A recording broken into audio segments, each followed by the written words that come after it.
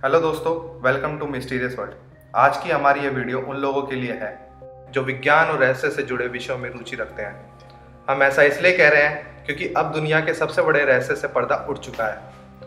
आप में से कई लोगों ने बरमुडा ट्रायंगल का नाम तो ज़रूर सुना होगा। बरमुडा ट्रायंगल नॉर्थ अटलांटिक महासागर का वो हिस्सा है, जिसे डेविल्स ट्रायंगल भी कहा जाता है। दुनिया विज्ञान के क्षेत्र में कहाँ से कहाँ पहुँच गया, लेकिन आज तक कोई भी बरमुडा ट्रायंगल के रहस्य का पता नहीं लगा पाया था। यह वो जगह है जहाँ पर एयरक्राफ्ट और शिप्स आश्चर्यजनक तरीके से गायब हो चुके हैं। हालाँकि वैज्ञानिकों ने अब बरमुडा ट्रायंगल के बारे में जो नई थ्योरी दी है, उसने कई सवालों का जवाब दे दिया है। लेकिन उससे पहले आपके लिए बरमुडा ट्रायंगल के बारे में जान लेना ज़रूरी है, ताकि आप भी समझ सके कि इस इलाके को इतना रहस्यमय क्यों कहा जाता है। बरमुडा ट्रायंगल समुद्र के तेरह लाख स्क्वायर मीटर के क्षेत्र में फैला हुआ है। यानी राजस्थान, महाराष्ट्र और मध्य प्रदेश के कुल क्षेत्रफल को मिलाया जाए तो भी यह आकार में बड़ा ही साबित होगा। हालाँकि यह ट्रायंगल कहाँ से शुरू होता है और कहाँ खत्म होता है, इसका अंदाज़ा नहीं लगाया जा सकता। बरमुडा ट्रायंगल वो जगह है जहाँ पर मैग्नेटिक डिस्टर्बेंस की वजह से कंपास ठीक से काम नहीं करता। एक्सपर्ट्स का मानना है कि कंपास के ठीक से काम ना करने की वजह से एयरक्राफ्ट और समुद्री जहाज़ गायब हो जाते हैं। यहाँ से गुजरने वाले लोगों ने समय समय पर अपने अनुभव रिकॉर्ड किए हैं और इन लोगों ने दावा किया है कि उन्हें यहाँ बादलों की एक सुरंग नज़र आती है, जिसके अंदर विमान का रडार काम करना बंद कर देता है। बरमुडा ट्रायंगल के अंदर फंसने के बाद बाहरी दुनिया से संपर्क टूट जाता है। साइंटिस्ट इसे इलेक्ट्रॉनिक फॉग भी कहते हैं। ये एक ऐसा फॉग है जो समुद्र से उठता है और आसमान तक पहुँचते पहुँचते भवंडर का रूप ले लेता है। जब भी कोई विमान या समुद्री जहाज़ बरमोडा ट्रायंगल के ऊपर से गुजरता है, वो वापस नहीं लौटता।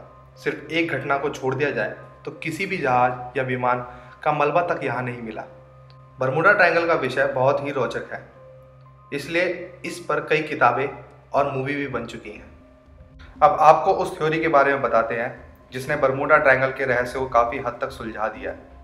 अमेरिका के वैज्ञानिकों ने दावा किया है कि बरमुडा ट्रायंगल पे होने वाले हादसों के लिए दो सौ तिहत्तर किलोमीटर प्रति घंटे की रफ्तार से चलने वाला एक तूफ़ान सबसे बड़ी वजह है। इस नए तरह के तूफ़ान को एयर बॉम्ब कहा जा रहा है। वैज्ञानिकों के अनुसार बरमुडा ट्रायंगल के ऊपर मौजूद हेक्सागोनल क्लाउड्स इस तरह का दबाव बनाते हैं कि इस क्षेत्र में हवाएँ दो सौ तिहत्तर किलोमीटर प्रति घंटे की रफ्तार से चलने लगती हैं और हवा के इस दबाव में एक विनाशकारी बॉम्ब जैसी शक्ति उत्पन्न हो जाती है।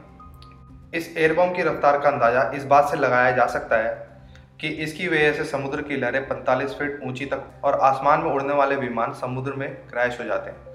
दोस्तों, ये हेक्सागन क्लाउड बादलों का एक विशाल पैटर्न है, जो शनि ग्रह के उत्तरी ध्रुव पर पाए जाने वाले बादलों से मिलता जुलता है। बरमुडा ट्रायंगल पर मौजूद यह बादल 32 किलोमीटर से लेकर 88 किलोमीटर के दायरे में फैला हुआ है।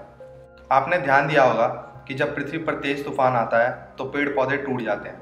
हवा की तेज रफ्तार की वजह से इंसान तक उड़ जाते हैं। ठीक उसी तरह आसमान में जब यह एयरबम फटता है तो आसमान में उड़ने वाले विमान और नीचे समुद्री जहाज़ 45 फीट ऊँची लहरों की तरफ़ खींचे चले जाते हैं। पिछले 100 वर्षों में बरमुडा ट्रायंगल की वजह से हज़ार लोगों की जान गई है।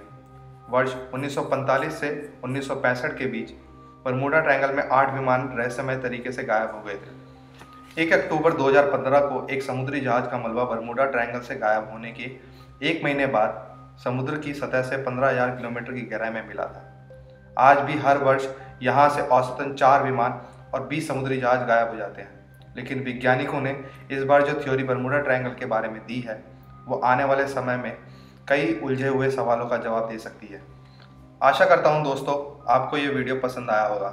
हमारे इस वीडियो को लाइक कमेंट और शेयर कीजिए और हमारे चैनल को सब्सक्राइब भी कीजिए क्योंकि हम हर हफ़्ते इसी प्रकार के रहस्यमय वीडियो अपलोड करते हैं।